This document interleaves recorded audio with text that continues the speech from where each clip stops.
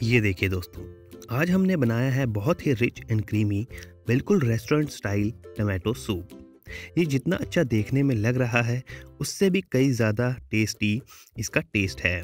एक बार इसको बनाकर पियेंगे तो इसका टेस्ट कभी भूल नहीं पाएँगे। तो चलिए फटाफट से देखते हैं कि इसको आसानी से घर पे हम किस तरीके से बना सकते हैं।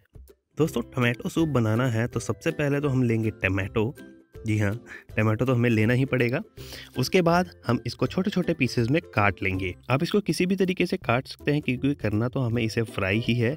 मगर अगर आप छोटे छोटे काटेंगे तो ये अच्छे से भुनेगा और इसका टेस्ट भी काफ़ी बढ़िया आएगा। अब टमाटर हमारा कट चुका है। अब लेंगे एक पैन और उसमें डालेंगे ढेर सारा बटर। जी हाँ दोस्तों, बटर में इसको फ्राई करेंगे। अब हमारा बटर जो है वो हल्का हल्का गर्म होने लगा है तो इसमें डालेंगे हम चॉप्ड गार्लिक और चॉप्ड जिंजर। हल्का सा सॉटे कर लें।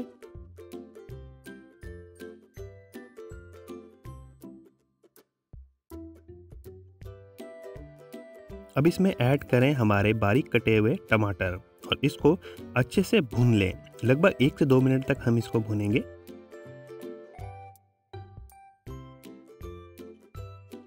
दोस्तों, जितने अच्छे से हम टमाटर को भुनेंगे, उतना ही अच्छा हमारे सूप का फ्लेवर आएगा। रेस्टोरेंट में भी टमाटर को अच्छे से भुना जाता है, जिससे उसका फ्लेवर काफ़ी बढ़िया आता है। इसमें ऐड करें सॉल्ट। और सॉल्ट डालने के बाद टमाटर जो है वो पानी छोड़ेगा तो हमें अपने पानी को भी सुखाना है।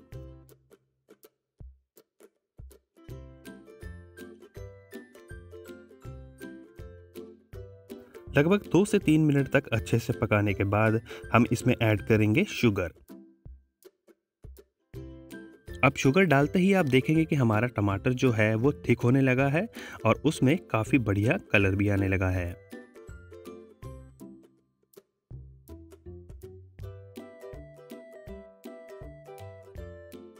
ऐड करें टमाटो केचप। दोस्तों, टमाटो केचप हमारे सूप को बढ़िया फ्लेवर के साथ साथ बढ़िया कलर भी देगा, क्योंकि जो चीज़ दिखेगी अच्छी, वही खाने में भी अच्छी लगेगी।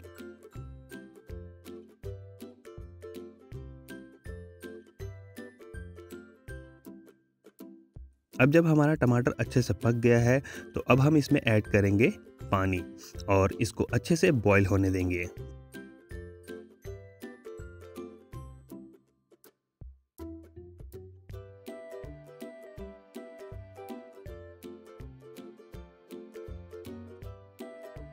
ऐड करें वाइट पेपर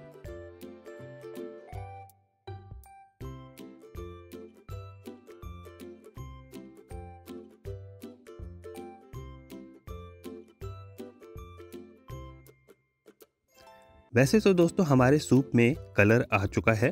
मगर अभी हम रेस्टोरेंट स्टाइल सूप बना रहे हैं, इसलिए फ़ूड कलर ऐड करना तो बनता है, क्योंकि रेस्टोरेंट में हमेशा फ़ूड कलर ऐड करके ही बनाया जाता है सूप जिससे उसका कलर जो है वो काफ़ी बढ़िया आता है। ऐड करें बिल्कुल थोड़ा सा फ़ूड कलर लगभग एक मिनट तक इसको बॉईल करें।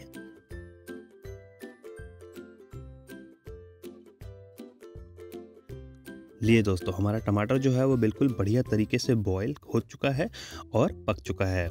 अब हमें इसको छानना है, अच्छे से छानेंगे ताकि हमारा सूप बिल्कुल क्रीमी बने।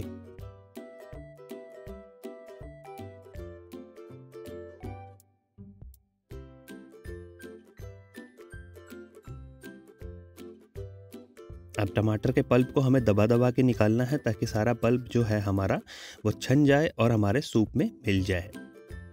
इससे हमारा सूप गाढ़ा भी बनेगा और टमाटर का पूरा टेस्ट भी आएगा।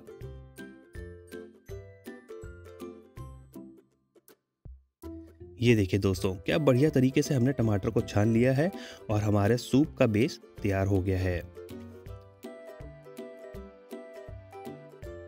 अब इसको दो मिनट तक अच्छे से उबालें, जिससे हमारा सूप जो है वो थोड़ा थिक हो जाए।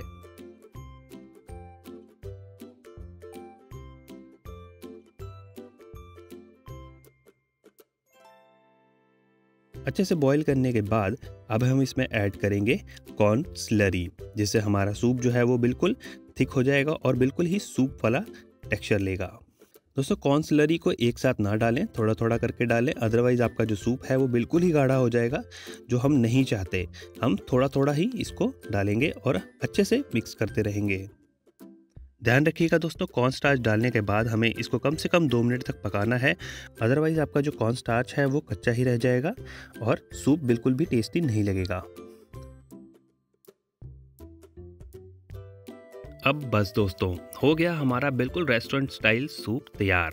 अब इसको निकालते हैं एक बॉल में और साथ ही साथ हम सर्व करेंगे ग्रिल्ड ब्रेड के साथ। यहाँ पे हमने ग्रिल्ड ब्रेड के छोटे छोटे पीसेस काट लिए हैं, जो सूप के ऊपर डालकर सूप पीने का मज़ा आ जाता है। तो इसको हम ऊपर से डाल लेते हैं।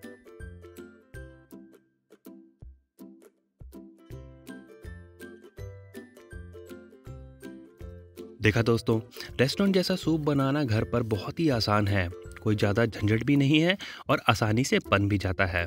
तो आप भी ज़रूर बनाइएगा और कमेंट करके हमें ज़रूर बताइएगा कि आपका टमाटो सूप कैसा बना। भाई, ठंड बहुत है और आज तो मज़ा आने वाला है सूप पी के तो मैं तो चला सूप पीने।